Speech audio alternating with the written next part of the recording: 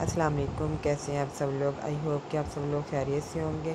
अल्हम्दुलिल्लाह, मैं अभी बिल्कुल खैरियत से हूँ। तो यूट्यूब पे ये मेरा फ़र्स्ट व्लॉग है। और मैं अपने फ़र्स्ट व्लॉग में बना रही हूँ चने वाली बिरयानी। तो व्लॉग स्टार्ट करने से पहले मेरी अब सब बहन भाई से एक छोटी सी रिक्वेस्ट है कि मेरे चैनल को लाजमी सब्सक्राइब करें और मेरी वीडियो को लाइक और शेयर लाजमी करें।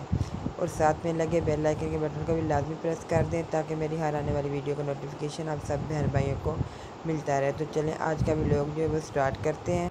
मैंने एक पाव यहाँ पे लिए थे चने, जिनको रात को मैंने पानी में भिगो दिया था और अभी मैंने इनको अच्छी तरह उबाइल कर लिया और दो अदद मैंने लिए टमाटर, जिनको मैंने ब्रेक काट लिया और दो अदद मैंने प्याज लिया जिनको भी मैंने बिल्कुल अच्छी तरह ब्रेक काट के धो लिया और साथ में अदरक सब मिर्च और लहसुन का पेस्ट बना एक बड़ा बर्तन लिया है। और इसके अंदर घी जो मैंने डाल दिया है। तो जैसे ही हमारा घी जो है गर्म होता है तो फिर मैं इसके अंदर प्याज ऐड कर दूँगी। तो यहाँ पे हमारा घी जो बिल्कुल गर्म हो चुका है और प्याज जो मैंने इसके अंदर ऐड कर दिए हैं। जब तक हमारे प्याज जो है ब्राउन होते हैं, उतनी देर में मैं निकाल लेती हूँ कुछ मसाले जो कि मैंने चावलों के अंदर डालने हैं।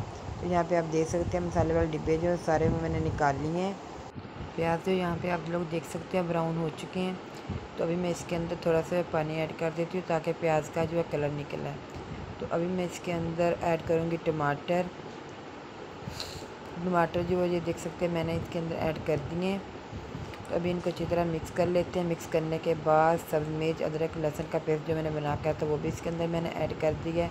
तो जैसे ही ये घी छोड़ते हैं तो मैं इनके अंदर जो मसाला जाता है, वो ऐड कर दूँगी।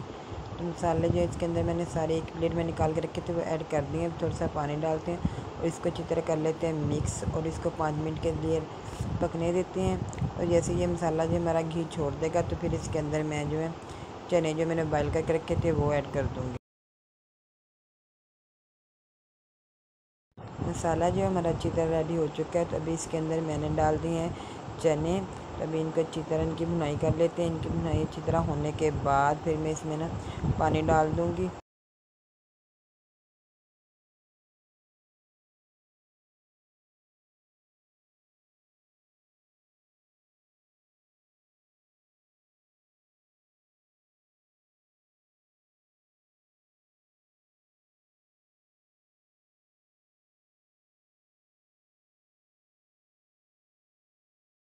तो आप लोग देख सकते हैं, पानी का उबाइल आना स्टार्ट हो गया है।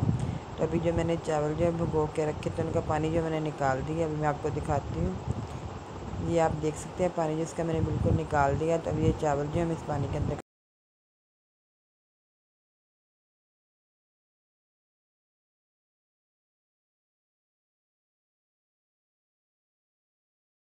आप देख सकते हैं चावलों का जो हमारा पानी है बिल्कुल खुश्क हो चुका है। तो अभी मैं इसको दम पे लगाने लगी थी। दम पे लगाने से पहले मैंने इसके अंदर चार पाँच सब्ज़ मिर्चें डाली हैं और दो लेमन मैंने इसके अंदर काट के डाले और साथ में साबुत गरम मसाला जो वो इसके अंदर डाल दिया। तो अभी इसको मैंने लगा दिया दम पे। दस मिनट के दम पे मैंने इसको लगा दिया। जब तक हमारा होता है, चावलों का दम पूरा तो उतनी देर में मैं साथ में सलाद और रायता बना लेती हूँ।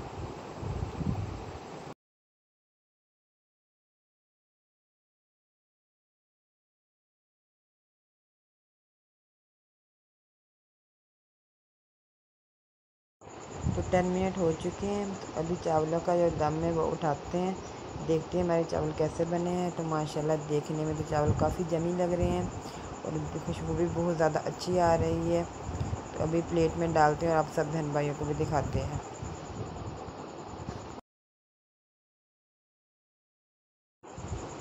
तो आप सब बहन भाई माशाल्लाह देख सकते हैं। चावल जो हमारे काफ़ी अच्छे बने हैं। तो इसी के साथ मैं अपना जो व्लॉग का जो करती हूँ एंड और उम्मीद करती हूँ मेरा जो आज का व्लॉग है आप लोगों को पसंद आएगा होगा। इंशाल्लाह मिलेंगे कि नेक्स्ट व्लॉग में। तब तक के लिए अल्लाह हाफिज़। Thanks for all watching.